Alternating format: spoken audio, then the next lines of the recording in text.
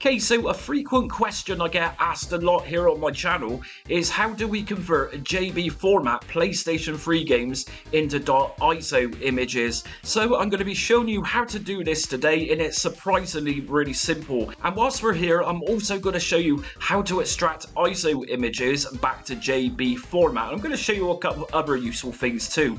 But before I start this video, if you like what you see today, be sure to hit notifications, subscribe and like so you don't miss upcoming upcoming retro emulation content as well as retro gaming documentaries. So what we're going to do first then is head over to a particular website and we're going to download PS3 ISO tools.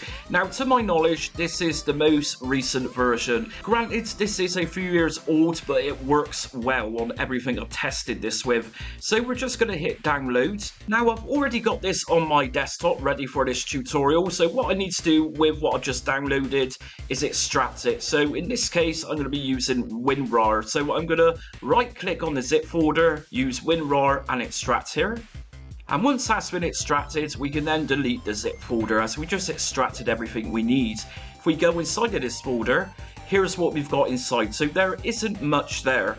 We're going to open up the program by double left clicking on PS3 ISO tools.executable and we're going to get a little pop-up and it's just going to say welcome this is the first time I'm using ISO tools. And it's also telling us that we need to set up PS3 system and firmware. So we're going to go to OK now it was just talking about firmware. So what this is referring to is this drop down just here. Now I recommend PlayStation 3 users as well as RPCS 3 users selecting the last version of firmware which was actually put into this program when it was released. 4.76. Okay, also recommend leaving PS3 system to custom firmware or CFW. So what we're going to do first of all then is actually create an ISO. So on my desktop, I've got this game, Dark Soul. If we go inside, this is a typical JB folder PS3 game. What we're going to do, first of all, is create a new folder on the desktop. And we're going to go to New, Folder, and I'm going to call this folder Dark Sector.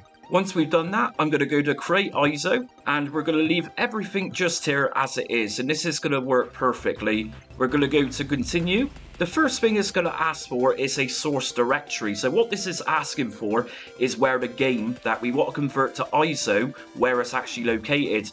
So we know it's on my desktop. So I'm going to select desktop and here it is, Dark Sector Europe. I'm just going to left click on that and just left click on the name of the game itself. I'm not going to click on PS3 game or USR directory, just literally the game. Press OK. Now it's going to say where we want to generate the ISO file. So I've just created the dark sector folder on the desktop and that's what I want this to convert to. So I'm going to select desktop and here we go, dark sector and if I press OK, and here we go then. So it was that quick.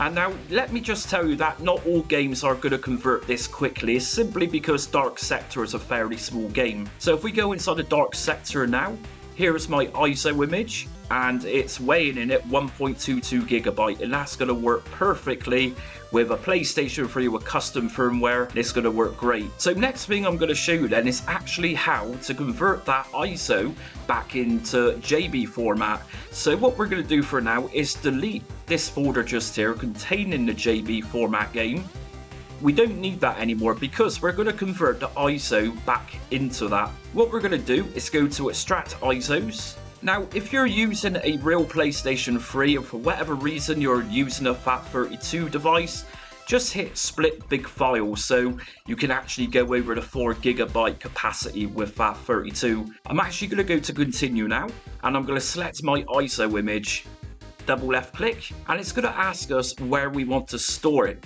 So what I'm going to do is actually pop it back in that dark sector folder. So desktop, dark sector, okay. Okay, so here we go. So we've got a confirmation just here saying that's been converted. If we go into the Dark Sector folder, and here's my game from ISO to JB format. Brilliant stuff. Okay, so finally what I'm going to show you is how to patch ISO images to a particular firmware version to work on a particular machine which has got a particular firmware. We're going to go to patch ISO, patch ISO the firmware version, Now this is your opportunity just here to select a particular firmware version that you want to patch this particular game for. I'm going to randomly choose 4.66 continue and I'm going to navigate to where my ISO image is and it's automatically done that for me. Dark Sector patched to firmware version 4.66. Okay, the game has now been patched to actually run on a PlayStation 3 console with the firmware that I just selected. And that's it for today's PS3 ISO tools video. So like I said at the start of this video, a lot of people ask me how you do this over time. So here you go, my gift from me to you. Enjoy. And until next video comes, stay retro.